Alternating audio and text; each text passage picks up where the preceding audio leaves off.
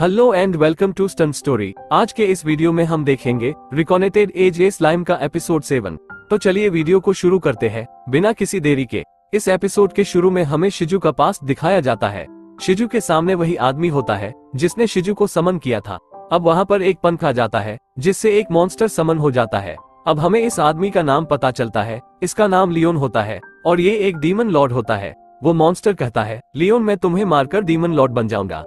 अब लियोन शिजू के अंदर के फायर स्पिरिट को जगह देता है, जिसका नाम फिरित होता है। फिरित शिजू को कंट्रोल करके, उस मॉन्स्टर को अपने फ्लेम से एक झटके में जला देता है। अब लियोन शिजू का नाम पूछता है, और कहता है, आज से तुम्हारा नाम शिजू है।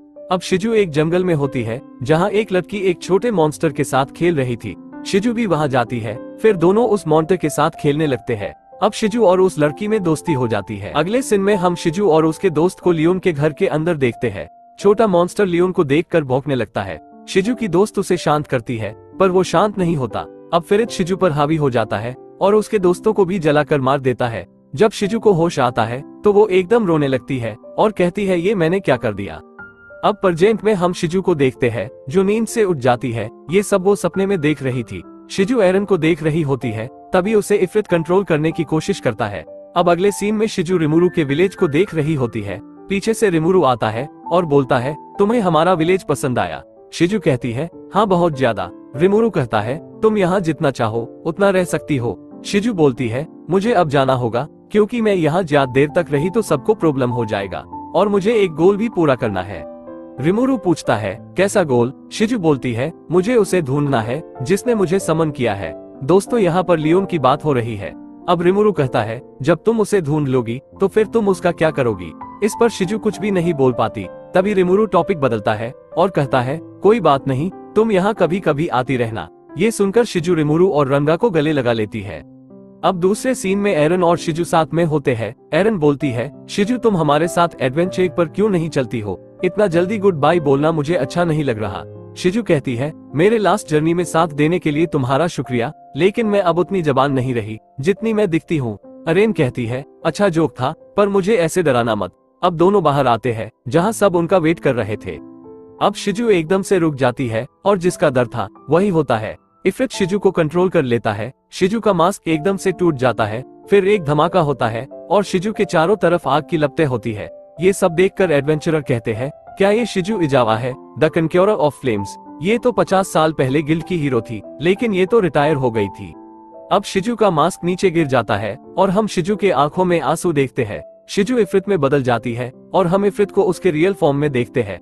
इफरित कुछ मॉन्स्टर को समन करता है, जिसका नाम सेलमेंडर होता है।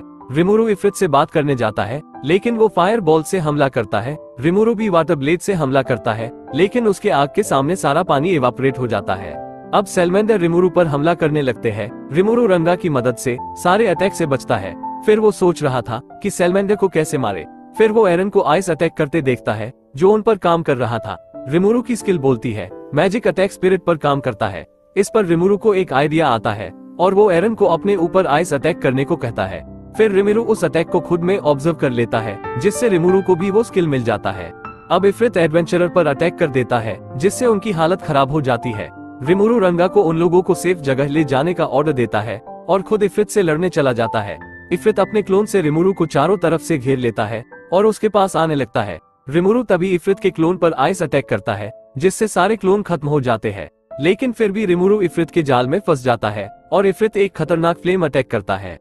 रिमुरु फ्लेम के अंदर चिल्लाने लगता है, ये मेरी स्लाइम की छोटी और बेकार ज़िंदगी अब खत्म होने वाली है लेकिन तभी रिमुरु रुकता है और कहता है, मेरे पास तो फायर रजिस्टेंस है, मैं तो फालतू में ही चिल्ला रहा था।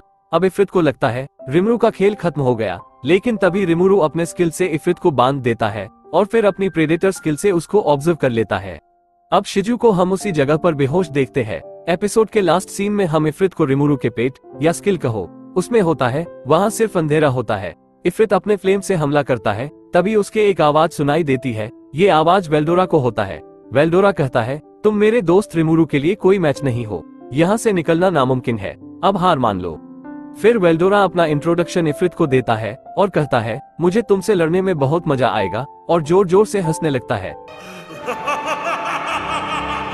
हाँ तो दोस्तों, ये एपिसोड यहीं पर खत्म हो जाता है। अगर यहाँ तक देख रहे हो तो चैनल को सब्सक्राइब कर दो, ताकि जल्दी से मैं इस एनिमे के एपिसोड ला सकूँ। Thank for watching